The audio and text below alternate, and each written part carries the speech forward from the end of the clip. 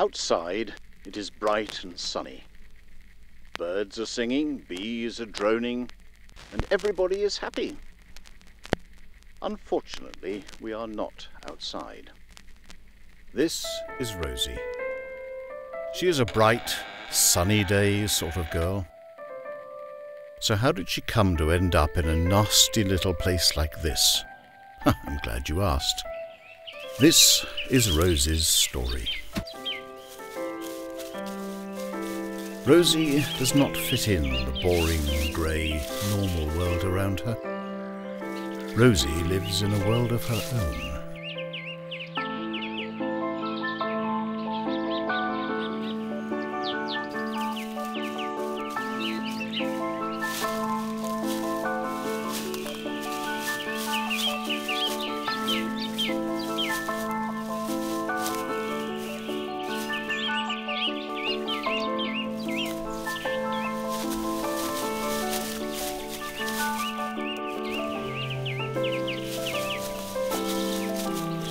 Rose's parents love her dearly, but life is hard in the normal world, where dull is good and abnormal is abhorrent.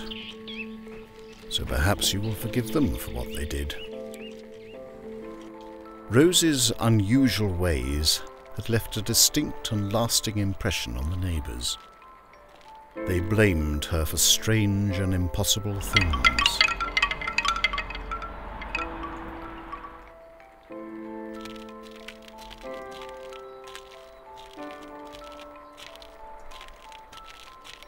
But she never noticed their dark looks. She walked on, perfectly happy, lost in her own odd and wonderful thoughts. School did not suit Rosie, and Rosie did not suit school. For the millionth time, her strange behaviour had landed her in detention. The thing about you, Rosie, is you never listen. No idea what's going on in the world around you? Take this equation. E equals mc squared. Simplicity in one perfect little package. Now, unless you pay attention, I see no future for you other than a life of muddled mediocrity. Mathematics is the future, and you need to be there. As I said before, Rosie, the problem with you is you never listen.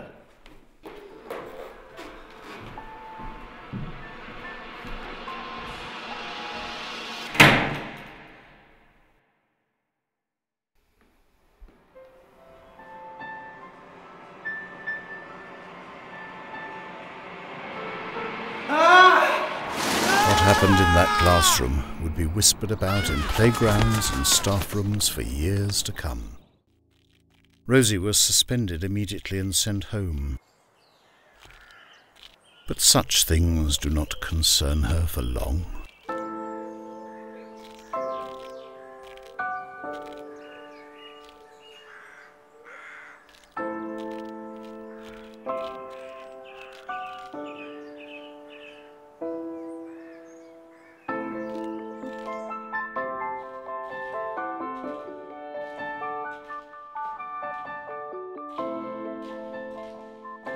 Mr. Watt was Rosie's next door neighbour. He hated insects and children and considered Rosie to be worse than either. They'd had various unpleasant encounters before. This would prove to be the last.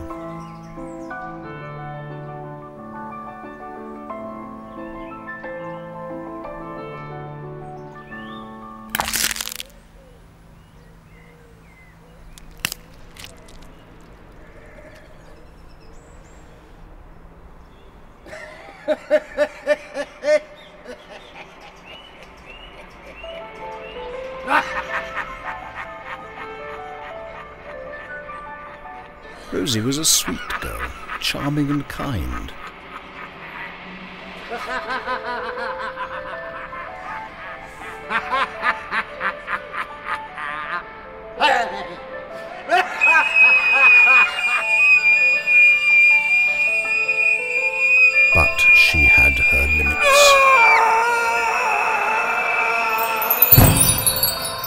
Besides, she thought she was doing the right thing.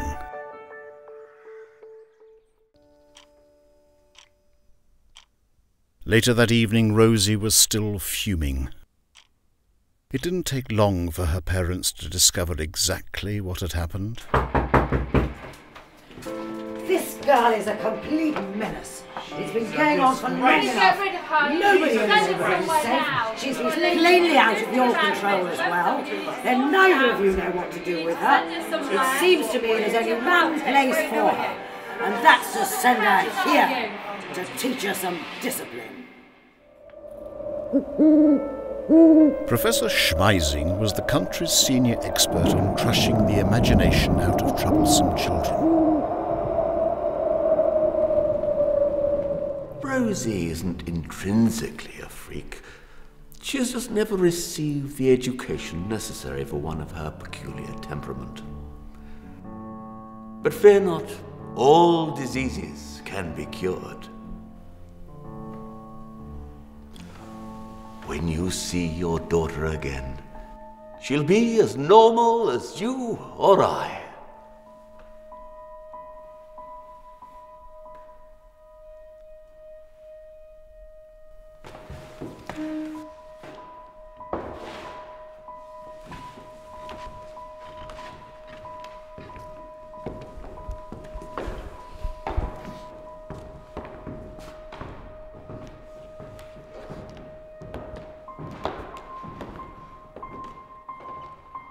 Once her parents were gone, Rose's re education could begin. No word passed between them. Only an implicit understanding that they had entered into a battle of wills.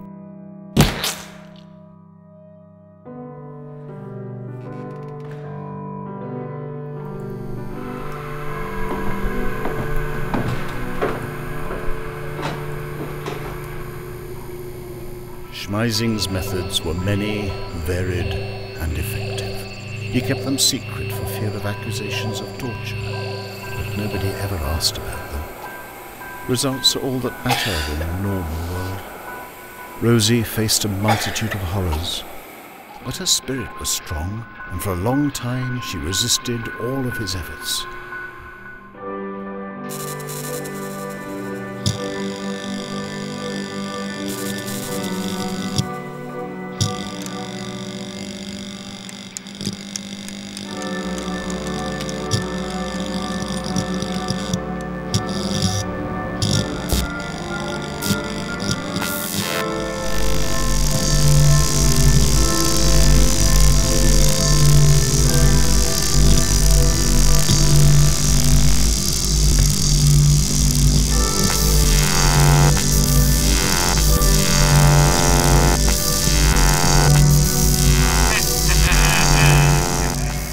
Some things are beyond our strength, and nobody can fight forever.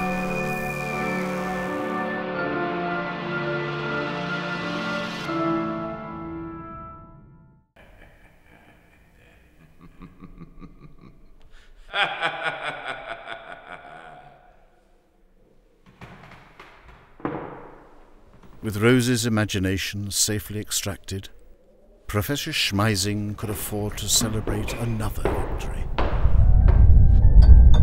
Pride comes before a fall.